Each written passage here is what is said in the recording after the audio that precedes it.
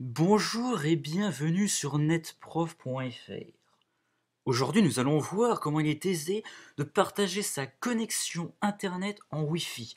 Imaginez donc si vous avez des amis, de la famille, plein de gens qui arrivent chez vous et que vous ne possédez pas le Wi-Fi et que vous avez Internet uniquement par câble. Eh ben, si votre ordinateur est suffisamment récent et qu'il possède le Wi-Fi, quasiment euh, pratiquement tous les ordinateurs euh, récents, tous les Mac euh, récents, eh ben, il suffit tout simplement d'activer le Wi-Fi au préalable, ou l'activer après, d'aller dans Partage. Ensuite, nous allons dans Partage Internet. Donc, partagez votre connexion depuis Ethernet, donc le câble réseau. Donc ensuite, on peut choisir soit par Bluetooth, soit par le Wi-Fi, Ethernet, Firewire, etc. Donc nous, ce qui nous intéresse, c'est Airport, c'est-à-dire le Wi-Fi.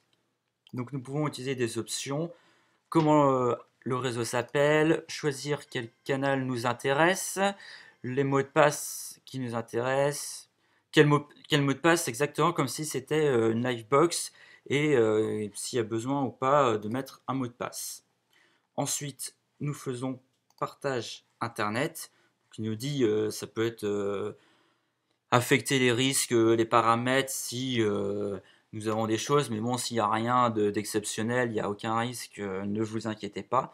Donc, nous mettons démarrer et automatiquement, c'est symbolisé par une flèche. Donc là, nous pouvons voir partage Internet, donc iMac 24 pouces. Donc cet ordinateur-là partage Internet qui reçoit par le câble en Wi-Fi. Tous les ordinateurs peuvent se connecter à cet ordinateur par le mot de passe ou euh, s'il n'y en a pas comme euh, je l'ai mis ici.